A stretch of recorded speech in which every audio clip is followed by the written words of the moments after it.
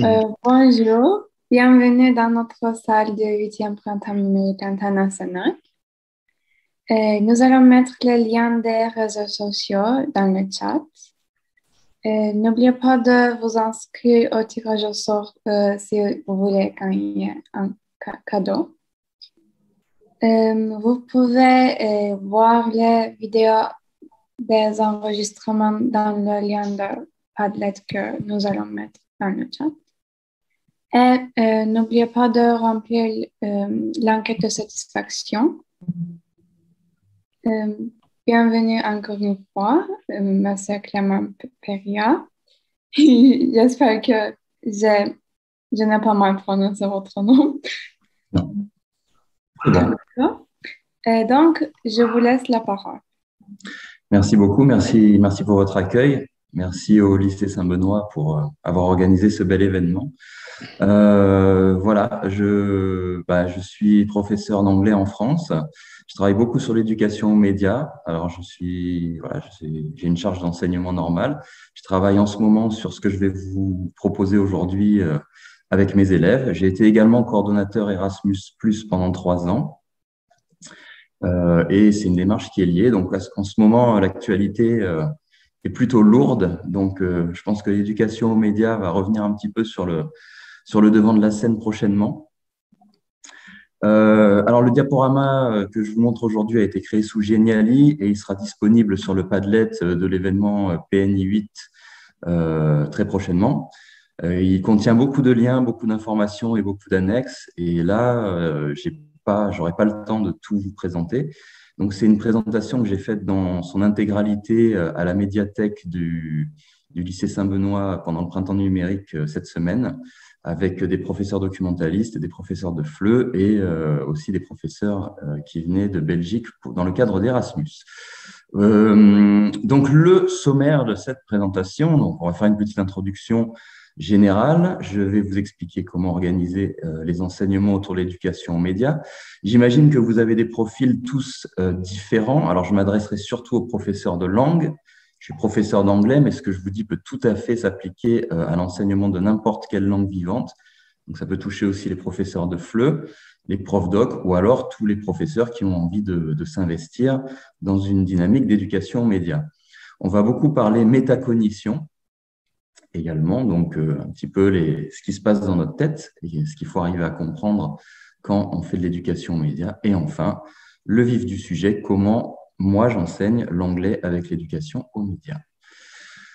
Alors, en introduction, je vais parler du rapport Lumière 2022 qui est sorti au mois de janvier. Donc, ce rapport, il préconise pas mal de choses. Déjà, il recense pas mal de données. Donc, euh, je ne vais, pas les, détailler ici. Euh, vous pourrez les retrouver si vous lisez ce rapport. hein. il est consultable publiquement. Je le mettrai aussi sur le Padlet de l'événement euh, si vous voulez.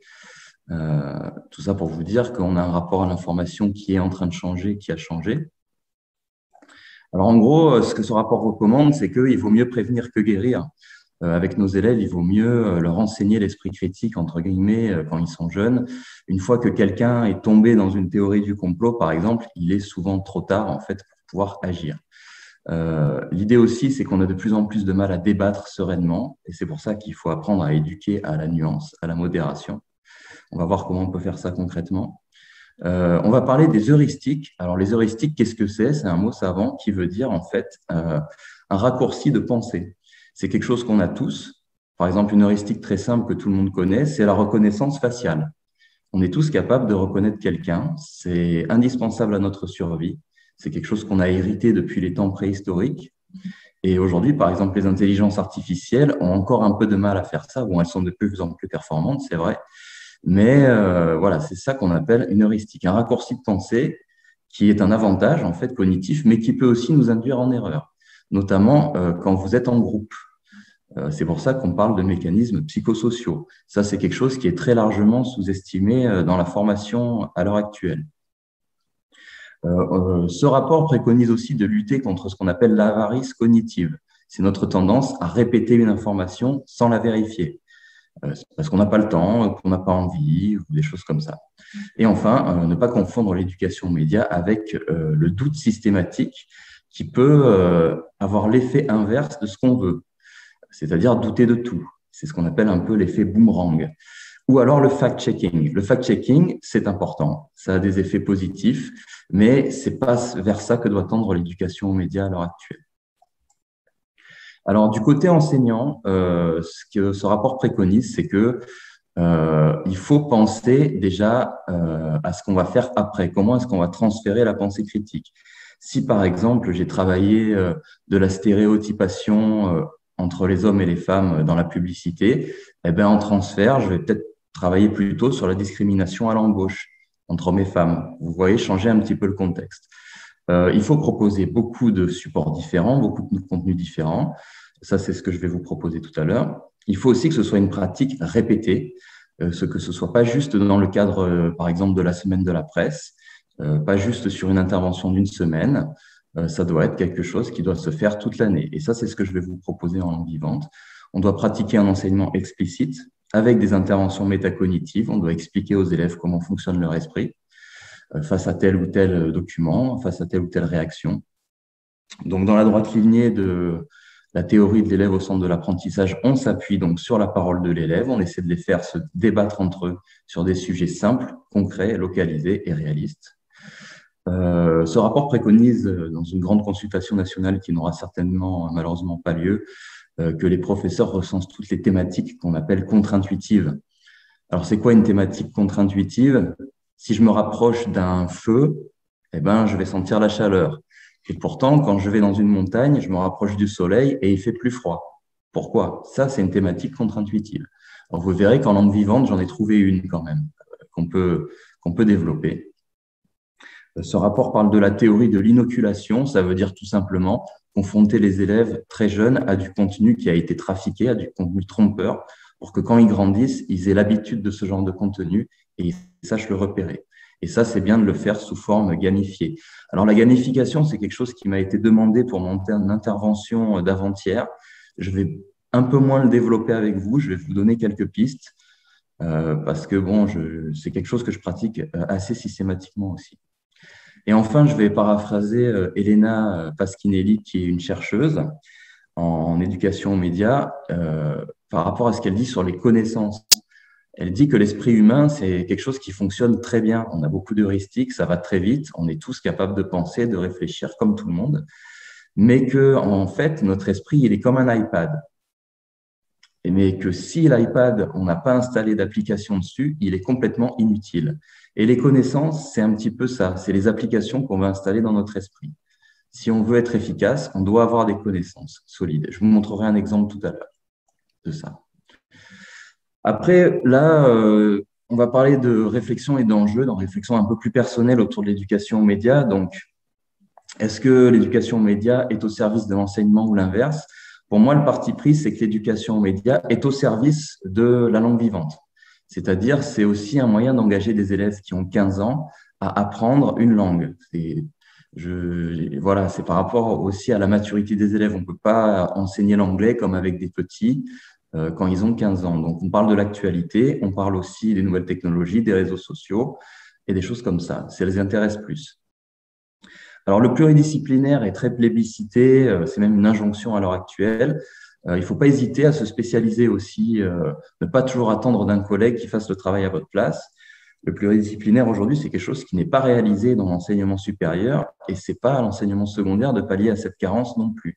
C'est très bien le pluridisciplinaire, mais ça doit être une cerise sur le gâteau. C'est comme je disais tout à l'heure, l'éducation aux médias, ça doit être du mois de septembre au mois de juin et même en dehors de la classe. C'est pas juste une semaine de temps en temps sur des temps forts, même s'il en faut. Euh, on peut s'interroger aussi sur le fait qu'enseigner l'esprit critique, ça peut être un paradoxe. Enseigner aux autres à penser par soi-même. Est-ce que c'est pas un peu bizarre? Est-ce que je suis pas en train d'imposer euh, mon point de vue, mes propres biais, euh, mes propres réflexion euh, à des élèves? Est-ce que c'est pas un paradoxe aussi d'enseigner à se déconstruire à des jeunes gens qui sont en construction? Euh, Est-ce que c'est pas paradoxal aussi d'enseigner quelque chose qu'il est difficile d'évaluer, voire impossible d'évaluer? Est-ce qu'il faut enseigner des choses qui ne sont qu'évaluables? Tout ça, ce sont des vraies questions auxquelles j'ai pas de réponse pour l'instant. Euh, voilà aussi, il y a le problème de la légitimité de l'enseignant. Est-ce qu'on a une légitimité politique suffisante pour agir comme des modèles envers les élèves aujourd'hui? La plupart des enseignants que je côtoie pensent que non. Quelle posture adopter face au relativisme quand on peut se permettre de douter de tout, quand des élèves vous disent Monsieur, c'est votre point de vue, c'est pas le mien, qu'est-ce qu'on peut dire? La meilleure posture à adopter, c'est de garder l'esprit ouvert, mais pas trop. De dire bah, écoutez, j'entends bien ce que vous dites, mais euh, il y a quand même de fortes probabilités aujourd'hui que ceci soit vrai. Donc, moi, je suis prêt à changer d'avis si euh, vous m'apportez suffisamment de preuves, de préférence à travers un expert reconnu et fiable. Euh, de, ce que vous avancez. Et à ce moment-là, je serai prêt à changer d'avis. Et souvent, cette posture, alors pas forcément avec ces mots-là, il faut l'adapter à l'âge de nos élèves, mais cette posture-là, elle permet de désamorcer beaucoup de conflits euh, quand on a des sujets un petit peu d'actualité, des sujets qui peuvent être difficiles à traiter. Bonjour. Euh, comment organiser des enseignements autour de l'éducation aux médias. Donc, je vais vous proposer une approche euh, tripartite qui est en trois parties. Euh, la première partie, c'est vraiment euh, la pratique de l'information, c'est-à-dire que nos élèves, on les met dans la peau des journalistes, ils vont aller faire des reportages, ils vont aller faire des interviews, ils vont produire du contenu, on va les emmener à la radio pour enregistrer une émission, des choses comme ça. On peut créer un club média, nous c'est ce qu'on a fait dans le collège, ou un projet Erasmus autour de ça. Nous, on a des classes cinéma, par exemple. On travaille beaucoup sur le cadrage, l'image, la mise en scène. Là, c'est la pratique directe. Le gros avantage de ce genre de pratique, c'est que vous allez avoir du contenu euh, produit. Vous allez avoir des vidéos, vous allez avoir des articles que vous pouvez publier sur le site de l'école et vous pouvez organiser des temps forts avec les parents, avec des personnalités pour montrer un petit peu le travail des élèves. Le deuxième pôle, il est plus euh, axé sur l'émotionnel, c'est-à-dire comment est-ce qu'on va réagir face à une information. Donc c'est là, c'est un petit peu le moment d'organiser voilà des semaines spéciales comme la semaine de la presse, inviter des, professionnels, des journalistes ou des gens du cinéma. On peut aussi faire du théâtre. Alors on a ce que nous on appelle le théâtre forum euh, dans mon établissement qui est, qui est très intéressant. Alors c'est des, je pourrais en parler des heures de tout ça. Hein. L'idée donc, c'est de développer une forme de citoyenneté numérique nouvelle. Comment est-ce qu'on se positionne face à l'information? Ne pas partager des informations qui sont stupides ou euh, à caractère pornographique, des choses comme ça. Les validations PIX, ça permet aussi de mesurer un petit peu ces compétences-là. Et c'est en train de, progresser de ce point de vue-là. Le troisième pôle, c'est le pôle qui est plus euh, traditionnel, on va dire. C'est celui qu'on va aborder dans les disciplines, le pôle didactique. Alors, je vais vous donner quelques exemples. Alors, en classe européenne, on a ce qu'on appelle une DNL, une discipline non linguistique. Donc, euh, une collègue à moi qui intervient en sciences et vie de la Terre en anglais. Donc, on va apprendre aux élèves à euh, avoir une démarche scientifique à travers les sciences. De mon côté, je vais présenter les animaux sauvages européens sur une carte et le professeur de, de sciences et vie de la Terre en anglais va euh, étudier, faire étudier aux élèves l'alimentation de, de, ces animaux, l'observation d'un crâne, de la dentition, euh, tout ça en anglais bien sûr. On, on, observe les crânes et on essaie de deviner quelle est l'origine de l'animal, quelle est son alimentation. Est-ce que c'est plutôt un carnivore, un herbivore ou un omnivore? Voilà, ça c'est un exemple. On travaille aussi sur le concept de communauté épistémique avec des intervenants extérieurs qui viennent de la Maison de l'Europe. C'est-à-dire que l'objectif, c'est avec des élèves un petit peu de tous horizons, donc des classes européennes, mais aussi ce qu'on appelle les éco-délégués, travailler sur une simulation de Parlement européen. Le sujet cette année, c'était les néonicotinoïdes, c'est-à-dire les pesticides tueurs d'abeilles. Et euh, chaque groupe d'élèves représentait un parti politique. Ils devaient d'abord faire des recherches sur Internet pour savoir quelle était la spécificité de leur parti, par exemple l'extrême droite, euh, euh les partis socialistes, les partis centristes, européanophiles. Bref, et ils devaient euh, adapter leurs interventions en fonction de ça. Et ça, c'est très intéressant euh, de voir comment est-ce qu'on peut endosser un rôle euh, dans un débat encadré. Et c'est un peu ce qui nous manque à l'heure actuelle, euh, ce genre de, ce genre de pratique. Voilà, j'enchaîne un petit peu parce que ben, l'heure passe. Voilà, comment est-ce qu'on peut articuler ces trois pôles dans, à travers les projets qu'on souhaite mener dans l'établissement sur un stage. Moi, ce qui va m'intéresser aujourd'hui, c'est le travail documentaire. Euh, l'objectif de ma pratique en langue vivante, c'est de donner des documents les plus variés possibles et que les élèves fassent des euh, exposés sur, euh, sur ces documents en langue cible. J'en parlerai un petit peu plus loin. avant d'aller plus loin, on reste un petit peu dans la théorie. Qu'est-ce que l'information? Dans les nombreux, colloques que j'ai suivis sur le sujet, j'aime bien poser la question et c'est un peu, j'ai un peu l'impression de jeter un, pavé dans la mare en faisant ça. Puisque l'information, c'est très difficile à définir. Chacun a une définition différente, un peu comme l'esprit critique. le journaliste, il va vous dire, ben, l'information, c'est moi. Euh, le scientifique va dire l'information, euh, c'est plutôt ben, l'esprit de méthode. Le sociologue va vous dire, ah ben non, l'information, euh, c'est une représentation de la lutte des classes. L'économiste, il va encore dire autre chose. Bref, ce que je vais vous proposer en tant que pédagogue aujourd'hui, c'est que l'information, ça va être la somme de tous les filtres qu'il va y avoir entre un événement et sa réception. Alors, j'ai catégorisé ces différents filtres. Déjà, en bout de chaîne, vous avez euh, tout ce qui est technique, cadrage, type de médias, les choix qui vont être faits, la façon dont on va couvrir l'événement. Donc ça, c'est une aubaine pour tout ce qui est club média, classe cinéma, classe vidéo, ou comment est-ce qu'on va pratiquer les médias à chaud. En bout de chaîne, vous avez toute une réflexion sur euh, les modalités d'accès. Aujourd'hui, de plus en plus de vidéos sont, filmées, par exemple, à la verticale, parce qu'on tient nos téléphones à la verticale. Mais vous avez aussi tous les phénomènes réseaux sociaux, euh, l'information horizontale, les phénomènes des plateformes de type Netflix qui peuvent être étudiés. Et au milieu de ça, vous avez de nombreux filtres. Vous avez euh, le travail de journaliste avec les avantages, les, les inconvénients. Comment fonctionnent les instituts? Qu'est-ce qu'un institut de sondage? D'où sortent tous les chiffres? Après, vous avez la partie plus scolaire à droite. Quelles sont les idéologies, les codes, la rhétorique? Quels arguments on utilise pour convaincre? Et aussi, quels effets visuels de retouche on peut utiliser? Ça, c'est quelque chose qu'on peut travailler avec un professeur d'art plastique ou de technologie, par exemple. Ça, ce document-là, c'est quelque chose que je montre à mes élèves de troisième, par exemple.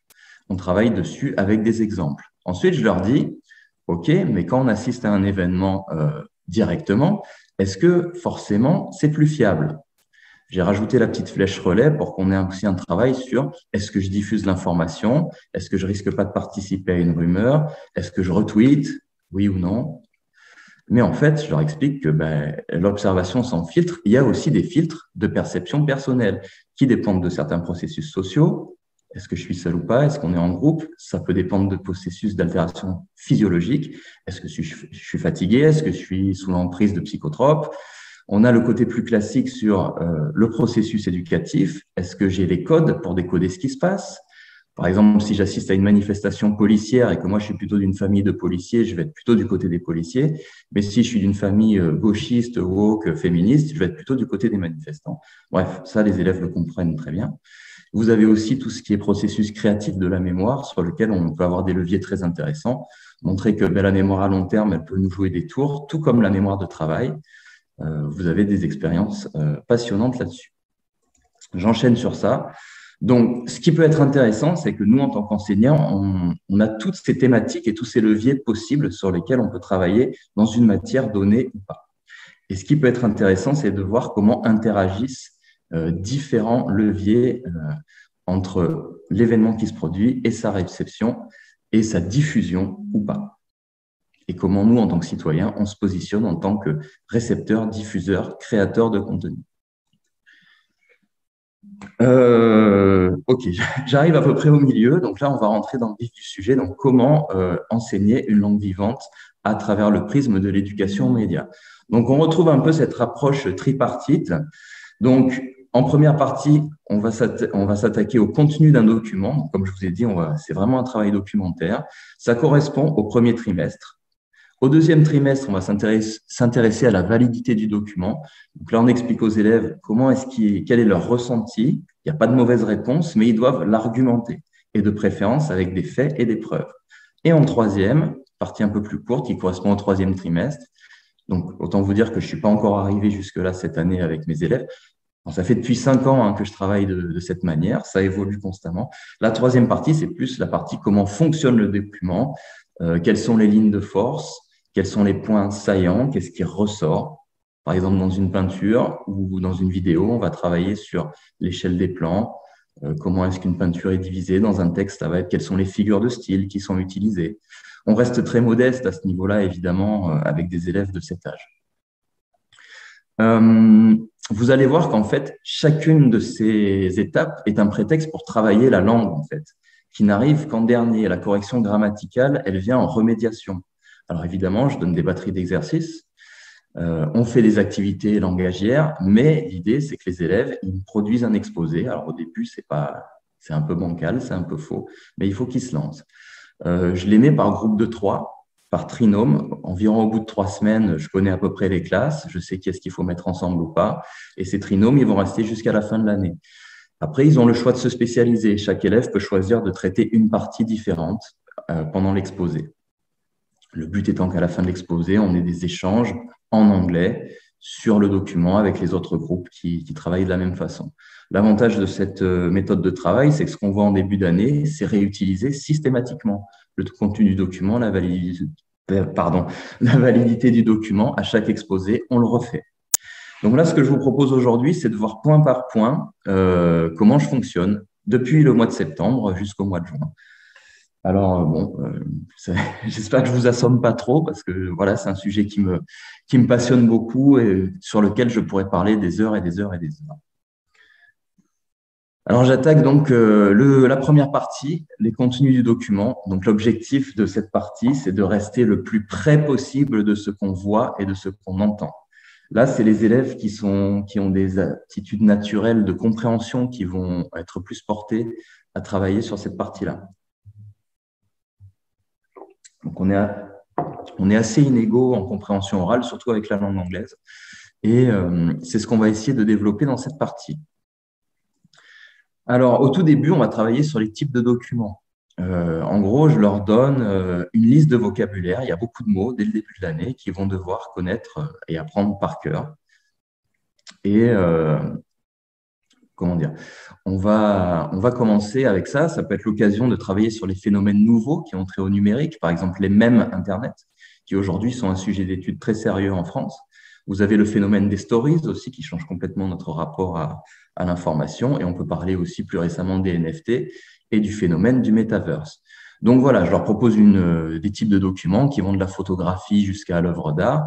Et l'objectif, c'est de, pendant l'année, de les exposer au plus de documents différents possibles. Là, en ce moment, j'aime bien leur donner des graphiques et des documents très factuels et très scientifiques pour étudier les sources, par exemple. Euh, je ne vais pas aller sur la gamification euh, pour l'instant.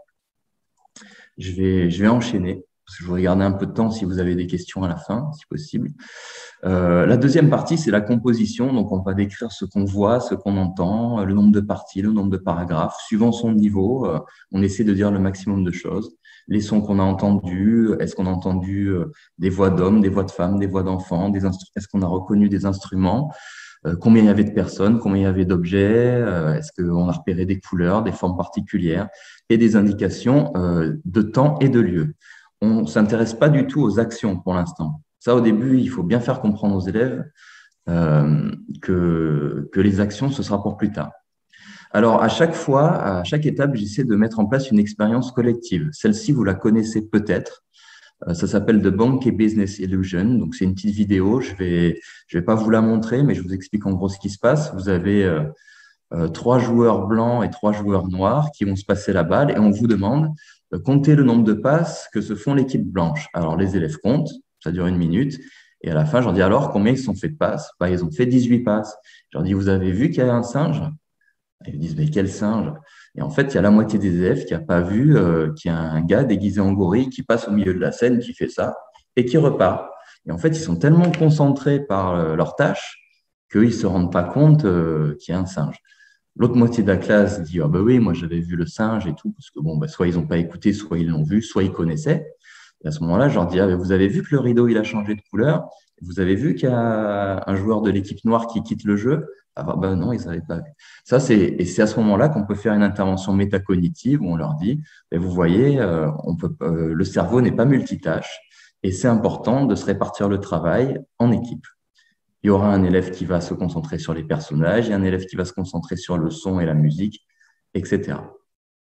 Et tout ça, c'est le prétexte, évidemment, pour faire des guessing games que je dis de composition. Alors, c'est un grand mot pour, qui, pour dire, par exemple, on va travailler sur les prépositions de lieu, on va travailler sur la description physique, on va travailler sur euh, ce qu'il y a dans une pièce, essayer de faire le lien entre les goûts d'une personne et ce qu'il y a dans sa chambre. Je peux vous montrer un exemple de ce type de guessing game rapidement. Euh, là, vous avez à gauche, par exemple, un jeu sur les prépositions de lieu. Je projette ça euh, à la classe, un élève pioche une carte, il décrit ce qu'il voit, où se trouvent les chats, où se trouve le chien par rapport aux objets, et ben, les autres joueurs doivent deviner euh, de quelle carte il s'agit. Pour travailler sur la corrélation et la causalité, vous avez ce jeu, c'est ce que je vous disais. Un élève décrit ses goûts pour la musique, euh, pour le sport et pour euh, la littérature. On va devoir deviner de quelle chambre il s'agit en disant ben, Tu adores la musique et moi je vois beaucoup d'instruments dans ta chambre. Mais par contre, tu n'aimes pas la littérature, je ne vois aucun livre. Voilà, ça vous donne l'exemple un peu. C'est ça que j'appelle des jeux de, composition.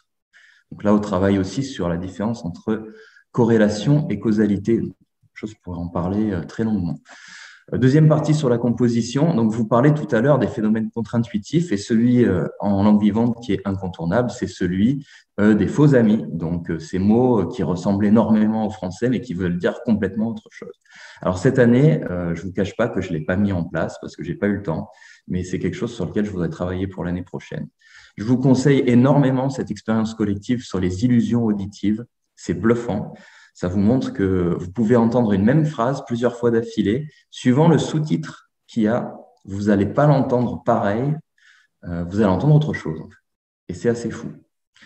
Donc, je ne vais pas développer plus loin. S'il y a la stratégie du vote, research, revote, qui est très utilisée à, l'heure actuelle pour ceux qui travaillent l'esprit critique, c'est-à-dire vous proposer par exemple un mot, on vote. Est-ce que c'est un faux ami ou est-ce que c'est un mot transparent?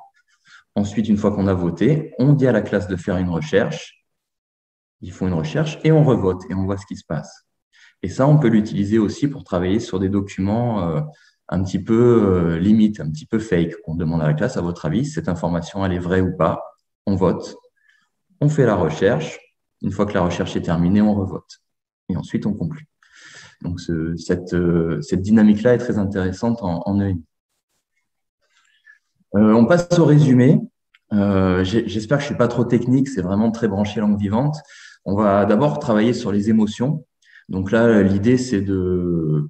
Bon, ben, d'abord, moi, je leur apporte un vocabulaire, leur montrer qu'on peut jouer des émotions alors qu'on ne les ressent pas forcément. On va faire du théâtre, on va demander aux élèves de piocher une émotion et, d'arriver à faire deviner au reste de la classe cette émotion par une petite scène.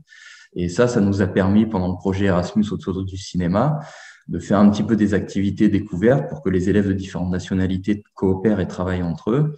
Et on, se servait de ça pour leur faire travailler la caractérisation, c'est-à-dire plutôt que les émotions, on leur faisait piocher des rôles. Toi, tu seras le gentil, toi, tu seras le méchant, toi, tu seras le, euh, comment dire, le, personnage principal, toi, tu seras plutôt le figurant. Et on, on les faisait travailler sur ça. En deuxième partie, on a plutôt les actions. Donc là, on va en travailler sur ce qu'on appelle le present be Donc là, l'aspect linguistique est un prétexte. Et l'expérience collective, c'est ce qu'on appelle en français un petit peu le téléphone arabe, c'est-à-dire on va voir comment est-ce qu'une information va se tordre d'un interlocuteur à l'autre. Et on va travailler avec des dessins. Alors, on a des études qui nous montrent qu'en fait, les préjugés culturels influent énormément sur cette distorsion. Et ça, on va le mettre en place avec un jeu tout simple. Alors, même chose, vous pouvez, euh, vous avez le lien avec le point d'interrogation vers une vidéo sur un, quelqu'un qui explique très bien comment faire ça. On fait écrire une phrase en haut d'une feuille, par exemple, A man is eating a hamburger un homme est en train de manger un hamburger et l'élève va passer sa feuille au voisin suivant. Alors, les, élèves choisissent ce qu'ils vont écrire. Et le voisin suivant doit dessiner cette phrase. Ensuite, on cache la phrase, on ne laisse que le dessin, qu'on passe au voisin suivant qui va devoir réécrire une phrase en fonction du dessin. On cache le dessin, on, il ne reste plus que la phrase, et ainsi de suite. Et à la fin, euh, on déroule tout et on rigole bien et ça permet aussi de créer euh, un esprit de corps dans la classe à ce moment-là. C'est des activités qu'ils aiment bien faire. Et on voit que les préjugés évoluent, euh, font évoluer les dessins. Alors j'ai des exemples très drôles d'élèves qui, qui au début avaient proposé je vais visiter la tour Eiffel et à la fin on a la famille va prier à la mosquée de, de fil en aiguille. C'était assez rigolo. Et tout ça toujours sans aucun jugement évident. En deuxième partie, en troisième partie, sur euh, le résumé d'un document, donc pour les documents de type article de presse plus informatif, on va s'intéresser à l'information à chaud, à l'information récente, et donc au temps present perfect, qui permet de décrire un résultat. Donc l'expérience collective, c'est d'explorer le contenu trafiqué à travers euh, ces virtuoses de Photoshop qui nous font des vidéos où ils, retouchent des visages à toute vitesse, qui sont très bluffants. Et ça, c'est l'occasion de travailler avec le professeur d'art plastique sur euh, sur les, logiciels de retouche. Donc après, en anglais, je montre des vidéos comme ça aux élèves et je leur demande en anglais d'écrire quels outils ont été utilisés selon vous pour retoucher telle ou telle image. C'est ce qu'on appelle donc l'effet d'inoculation dont je parlais plus tôt. le Present Perfect, c'est aussi l'occasion de travailler sur les titres de la presse anglo-saxonne, qui est très branché tabloïd. Hein. Sont nos maîtres en la matière, puisque en anglais, les titres, en fait, ils sont écrits au présent simple et les élèves comprennent très vite pourquoi. C'est pour que l'information soit plus percutante. Euh, on n'a pratiquement pas de complément d'objet dans un titre euh, de la presse anglo-saxonne. Et c'est intéressant de voir un petit peu ce glissement. Vous avez aussi les commentaires de matchs de foot. On n'utilisera pas be pour un match de foot. On utilisera du présent simple pour aller droit au but. Et là, c'est l'occasion de travailler sur les fake news. Alors, l'activité euh, gamifiée, c'est-à-dire que vous allez avoir une partie de la classe qui va choisir des sujets réels, une actualité du collège, et d'autres qui vont faire des sujets fake. Et l'idée à la fin, c'est de faire voter. Alors, à votre avis, c'est vrai ou c'est faux? Et tout, euh, tout l'objectif étant pour ceux qui vont faire des fake news d'être suffisamment nuancés pour qu'on croit que c'est vrai alors que ça ne l'est pas. Alors ça, ça n'a pas vocation à être publié, évidemment. Euh, ça reste dans le cadre de la classe. Euh, j'enchaîne sur euh, le résumé. Donc là, c'est plus euh, cette dernière partie, c'est plus branché pour les classes cinéma, pas uniquement. je ne sais pas si vous voyez en petit, vous avez la courbe de la trajectoire que je dirais universelle entre guillemets d'un récit. Donc, c'est-à-dire que tout film, bon film américain qui se respecte, commence par une scène d'exposition où on voit des personnages dans une routine. Vous avez un incident ou un conflit qui démarre l'action une série, une montée dans l'action qui arrive jusqu'à un climax et une résolution où euh, généralement tout est bien qui finit bien. Alors il y a beaucoup de films qui dérogent à cette règle, c'est vrai, mais c'est bien de montrer aux élèves qu'au niveau storytelling, eh ben, c'est comme ça que ça fonctionne. Alors euh, pour vous donner un exemple, euh, quand on avait fait des, regroupements Erasmus, internationaux, on mettait des, équipes internationales, vous aviez une photo un petit peu comme celle que vous avez en bas à droite, on leur projetait une image d'un film qu'ils allaient voir pendant le festival de films. Alors, on a fait un projet Erasmus autour du cinéma et des festivals. On les emmenait beaucoup voir des, films internationaux. Et du coup, ils avaient un photogramme d'un film et ils devaient piocher au hasard un numéro entre 1 et 6 qui correspondait à un moment euh, de l'action. Ça pouvait être l'exposition, ça pouvait être le climax. Et euh, chaque groupe international devait jouer une petite pièce de théâtre comme si c'était ce moment de l'histoire et faire deviner au reste de la classe de quel moment il s'agissait. Bon, dans un deuxième temps, il y avait euh, une appropriation des outils numériques, notamment des tablettes, où vous devez filmer ça avec euh, divers, je perds mes mots, je les ai en anglais, je les ai pas en français, divers raccords, puisqu'on avait étudié les raccords, et ils devaient aussi faire deviner quel raccord ils avaient utilisé dans leur vidéo, par exemple un raccord regard, un raccord dans l'action, un champ contre champ, etc. Et ça, c'est un moyen de faire travailler des élèves assez jeunes en groupes internationaux tous ensemble, avec un côté un peu jeu, où à la fin, ben, on, met, tout le monde ensemble autour des productions. J'enchaîne là-dessus. Donc là, on va arriver à la deuxième partie, donc la partie plus sensible, où on va travailler sur la façon dont les élèves vont réagir à l'information. Et on va leur apprendre à nuancer leurs propos et à argumenter, avec un gros travail au début sur la source alors, vous avez euh, un cas d'école en éducation média, c'est travailler sur le cadrage d'une photo ou pour une photo cadrée d'une telle manière qui va être au désavantage de la personne euh, cadrée. Et ensuite, vous montrez la photo dans son contexte et vous voyez que ça raconte pas du tout euh, la même histoire. Donc là, c'est le prétexte pour travailler sur le sourçage de l'information, de préférence en accord avec les profs doc, et pour montrer bah, que voilà, il y, a des, il y a certaines informations qui sont plus fiables que d'autres. Je vais passer un petit peu là-dessus. Ensuite, on va travailler un petit peu sur la polarisation affective. Alors en anglais, le, prétexte, c'est de travailler sur le, la volonté, dire ce qu'on veut ou pas, donc ce qu'un document veut ou ne pas faire. Donc j'ai classé euh, cette année en huit catégories. Donc, est-ce qu'un document souhaite divertir, repousser, informer, questionner, toucher, déranger, soutenir ou attaquer? Donc, c'est des grandes catégories. Hein. elles sont évidemment tout à fait débattables.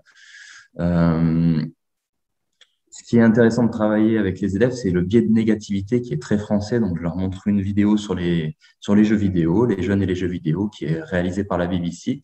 Et en fait, vous voyez bien dans cette vidéo, les jeux vidéo sont plutôt présentés positivement comme quelque chose qui, qui rassemble des enfants, qui leur permet de développer euh, des aptitudes sociales euh, qui peuvent être utiles même à l'école. Bon, vous avez aussi le contre hein, qui dit attention, si vous en faites trop, vous allez mal dormir, il faut consulter un spécialiste si ça devient une addiction. Et j'ai remarqué que nos élèves, ils avaient vu que le côté négatif. ça qui est très français. Et ça, ça permet aussi de travailler un petit peu sur ce biais de négativité. Ce qui est utile aussi dans ce travail, c'est de montrer que certains documents, euh, c'est pas qu'ils sont faux, mais ils doivent euh, poser question uniquement par leur intention. Un document qui ne travaille que sur l'émotion, qui, est toujours dans la dénonciation, c'est pas qu'il est faux, mais il, tire un peu sur les ficelles et il faut s'en méfier. Alors, comment dire, une, activité qui, peut qui est très sympa à mener dans, dans les classes, c'est de créer des équipes et ils vont devoir présenter une information, n'importe laquelle, en tirant au sort un de ces quatre, pardon, de ces quatre, un de ces huit biais cognitifs. Un groupe va devoir présenter une information de son choix en, l'attaquant, d'autres au contraire en la soutenant.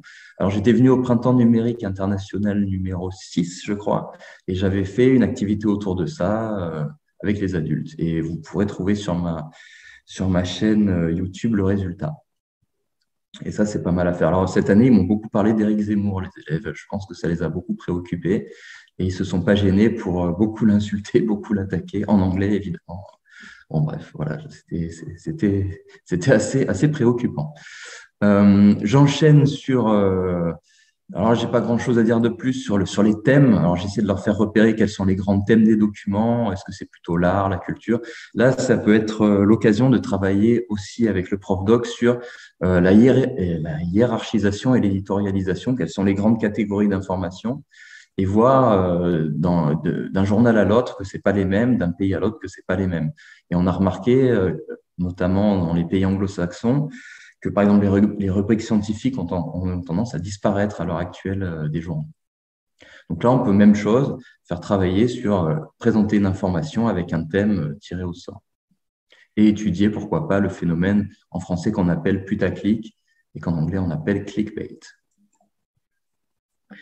Alors là, c'est la partie, on va dire, où il va falloir que les élèves apportent des connaissances. Donc c'est la partie la plus longue, c'est un petit peu le cœur de l'hiver de, ma pratique, j'en suis à ça en ce moment, développer sur le document, soit par son expérience personnelle, soit par ses recherches.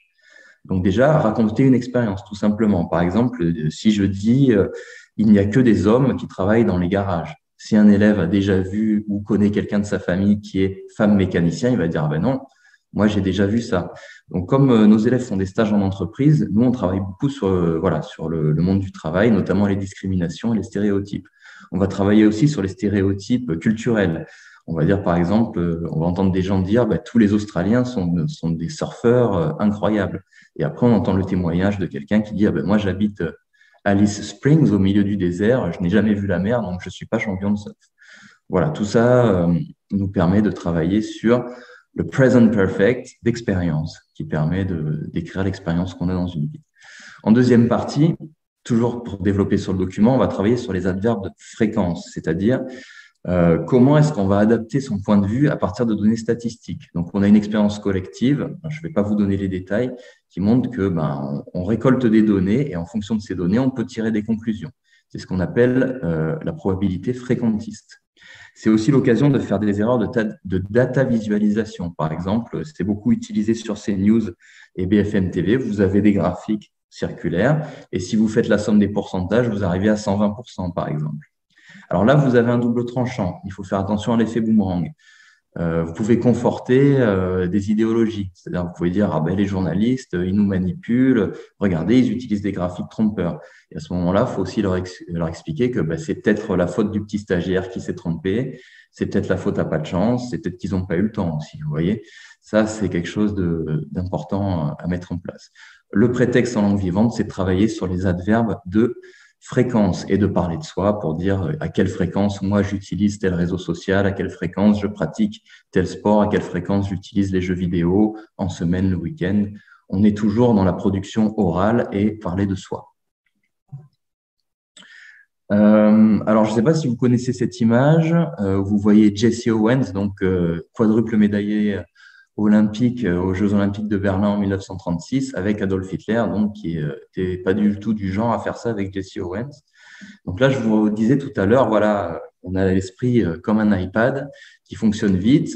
On peut aller euh, vérifier la photo sur Internet, mais il suffit de savoir, grosso modo, qui est ce personnage et qui est ce personnage pour deviner immédiatement que cette photo, il y a un problème. voilà, c'est l'importance des connaissances et notamment historiques pour, pour parler et remettre en contexte certaines situations. Donc là, c'est pareil, j'ai pas mal d'exemples de ce type qu'on pourrait étudier. Il y a beaucoup de légendes urbaines aussi autour des Jeux olympiques de Berlin en 1936. On étudie le film Race, qui est un très beau film du reste. Pirates des Caraïbes aussi, bon, c'est encore autre chose, pour voir un petit peu comment certains médias peuvent s'approprier euh, certaines réalités historiques. Il y en a aussi qui le font avec les jeux vidéo, notamment Assassin's Creed.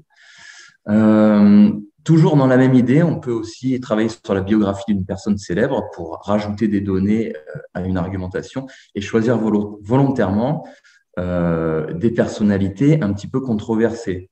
moi, je parle notamment des grands découvreurs de Christophe Colomb, du pirate Morgan, du pirate Drake et de Marco Polo, qui sont dénoncés dans une chanson de, Peter Tosh qui s'appelle Blame the Youth qui dit oui, à l'école, on présente ces gens comme des héros, comme des grands hommes, mais regardez tout ce qu'ils ont fait. Après, à chacun de se faire son avis, évidemment. Moi, mon rôle, c'est jamais de donner de jugement, c'est de donner des documents et de voir comment les élèves vont réagir et les pousser à faire des recherches pour argumenter. Euh, ah oui, je reviens une seconde aussi sur ce, ça, parce qu'il y a une activité qui est pas mal à faire, que font mes collègues d'anglais, que moi je fais un peu moins, ils leur font faire des recherches documentaires sur euh, un panel très exhaustif de, de personnalités historiques et pour faire un, ce qu'on appelle un Time's Up, qui est un jeu de société, si vous connaissez. Alors, je sais qu'il y a Guillaume Garçon, qui est également intervenant au Printemps numérique, qui travaille beaucoup là-dessus et qui propose Time's Up pour l'apprentissage des langues, et je le salue euh, ici au passage. Euh, J'enchaîne donc sur euh, cette partie. Alors là, j'en suis précisément à ce stade euh, cette année. Donc là, toujours dans l'idée de travailler sur l'éducation aux médias sous un aspect scientifique, euh, travailler sur les règles, l'impératif, euh, comment faire des conditions, euh, des conditions de prédiction. Si je fais ça, il va se passer cela, et exprimer aussi le but. Alors ça, je le fais à travers le sport. Je demande aux élèves d'inventer les règles d'un jeu, en fait. Donc, d'abord, on a étudié les Highland Games, qui sont des jeux assez connus en Écosse. Et ensuite, je leur dis, à vous d'inventer votre épreuve en anglais avec des photos. Et leur épreuve, je la passe à une autre classe qui va devoir euh, l'appliquer. Et donc, l'autre classe va faire des modifications, va dire, ben ça, j'ai pas compris, euh, cet objet-là, j'ai pas pu me le procurer, etc. Et on ramène le papier à l'envoyeur qui doit faire les modifications en conséquence. Et ensuite, on renvoie le, le, papier encore à une autre classe. Alors, il faut avoir plusieurs classes pour pouvoir faire ça.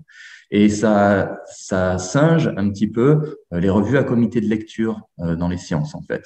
Et ça, même si on va pas jusqu'au bout de la démarche, si on met pas tout en application, ça permet aux, aux élèves de se responsabiliser sur ce qu'ils écrivent, de se responsabiliser, pardon, sur ce qu'ils écrivent. Et ça, c'est quelque chose que j'avais présenté aussi à, au Printemps numérique international numéro 6.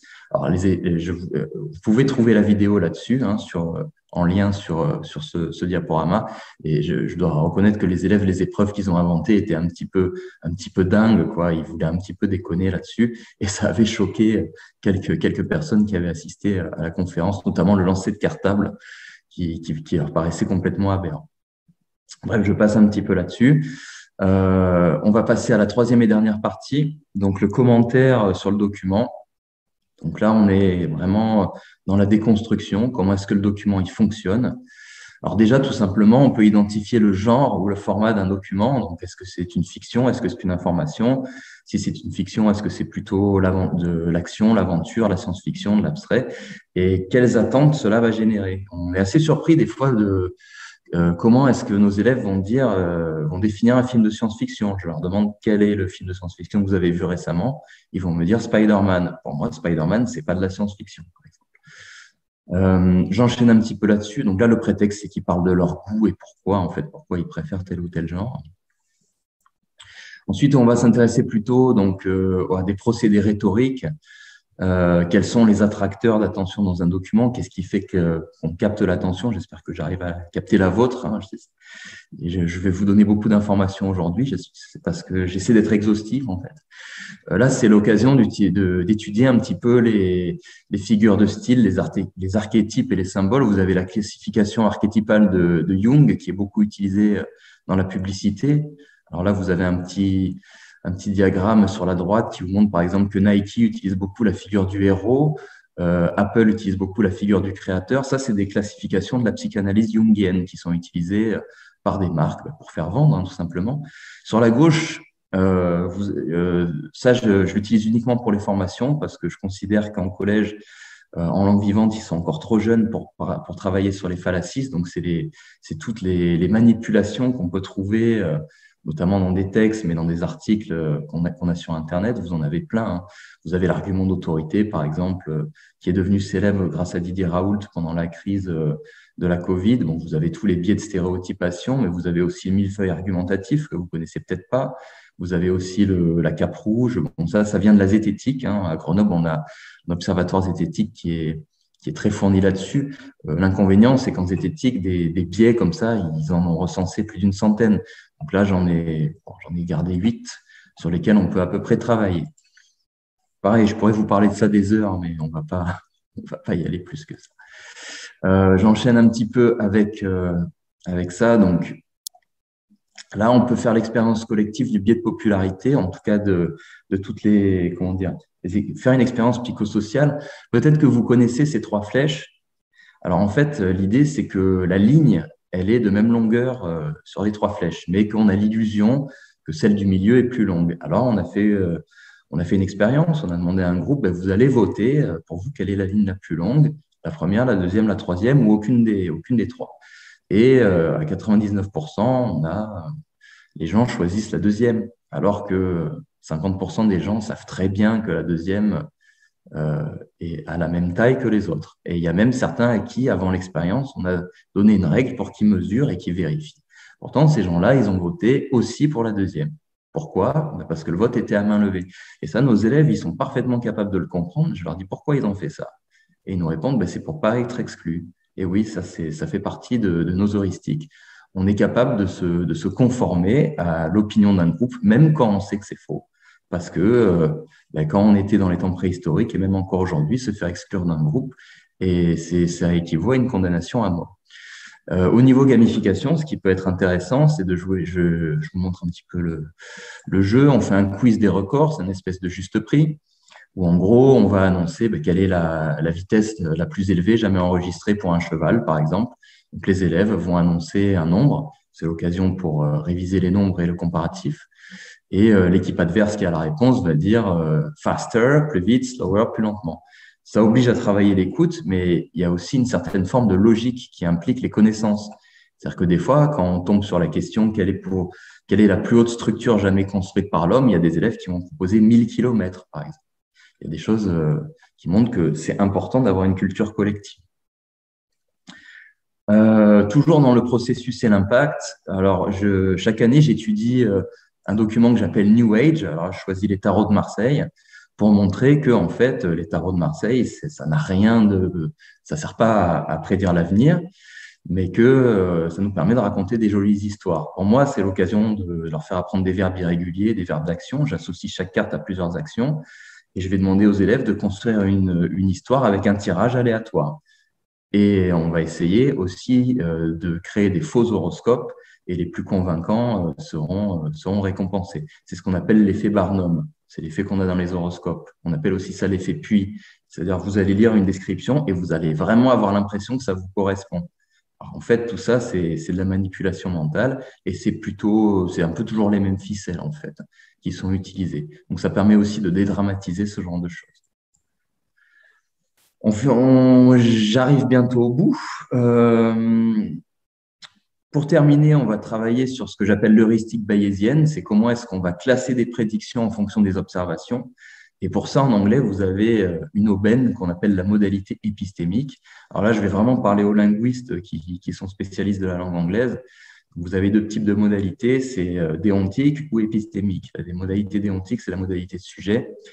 Euh, par exemple, si je dis « he must be at home », c'est une obligation. Il doit être à la maison parce qu'il n'a pas le choix, c'est le couvre-feu. Mais en modalité épistémique, « he must be at home », c'est une probabilité, on va dire, de l'ordre de 80%. Et en fait, euh, chaque auxiliaire modal en anglais, vous avez can, vous avez will, vous avez must, vous avez may, vous avez might, vous avez shall, il porte en lui un degré de probabilité épistémique qui va de, de 10 à 200%. Et on travaille sur ça avec les élèves et je leur demande de classer euh, des, des, prédictions en fonction de leur degré de probabilité. Et en fonction de ça, on va utiliser un modèle différent. On a une activité jeu qui est basée autour de ça. Et ça, ça peut servir de prétexte à ce qu'on appelle l'effet bulle de filtre, à savoir j'ai un profil, j'ai une identité numérique. En fonction de cette identité, quel contenu risque plus ou moins de m'être proposé parmi telle ou telle liste. On peut en profiter pour parler aussi de la publicité programmatique qui fait, euh, qui enrichit à l'heure actuelle beaucoup les fake news. Oui. je vais juste te dire, il reste cinq minutes avant de passer au prochain, euh, prochain intervenant. Parfait, j'ai euh, pratiquement terminé. Voilà, super. Hmm. Merci. Donc la fin, évidemment, tout ça doit mener à, l'argumentation, au débat entre élèves. Après, on peut organiser des, jeux de rôle hein, par rapport à ça, toujours dans l'idée de créer un espace épistémique commun où il y a un respect de parole, où chacun a un rôle à jouer. Et ce qu'on a fait avec notamment avec nos élèves de cinéma internationaux, c'est la critique de cinéma positive c'est pour leur montrer que je, leur interdisais de voir les défauts. Il fallait se concentrer sur les qualités. Tout ça, évidemment, en langue étrangère. Voilà. J'ai fini. Coffee break. Enfin, là, c'est plutôt lunch break. On a le temps de peut-être prendre euh, quelques questions, si jamais. Ouais, ça fait, ça fait peut-être beaucoup d'un coup, mais voilà cette formation, euh, je l'ai faite sur deux heures euh, l'autre jour, même trois heures. Après, il y avait des activités pratiques. Donc, euh, voilà. Désolé si ça vous a, ça vous a un petit peu ensuite. Mais ça me passionne énormément et c'est, pour moi, c'est très concret, en fait, l'éducation. Mais... Si vous avez des questions, vous pouvez ouvrir votre micro ou écrire sur le chat.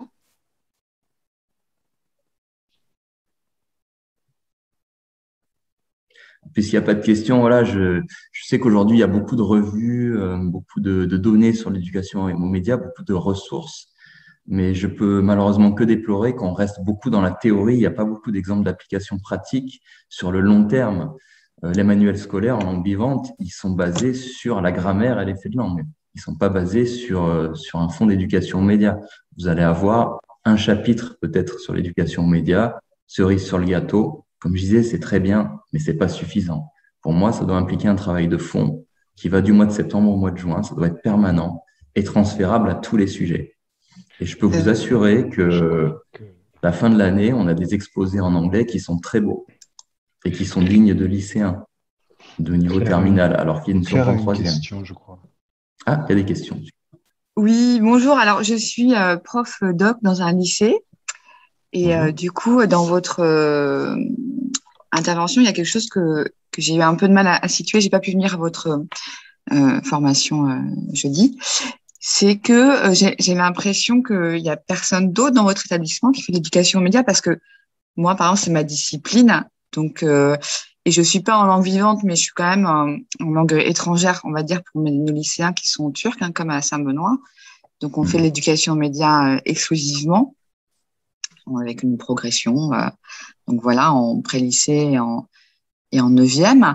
Et dans la façon dont vous présentez les choses, euh, je connais pas trop le système français, évidemment, mais je voulais savoir si dans votre établissement, il n'y a pas une doc, tout simplement, qui fait aussi l'éducation aux médias? Comment ça se passe hein?